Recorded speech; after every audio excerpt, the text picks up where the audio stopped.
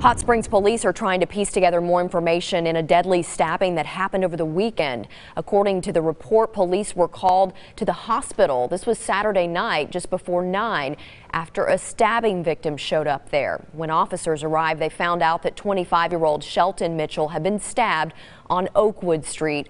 He died at the hospital. Police say they have talked with a person of interest and their investigation continues.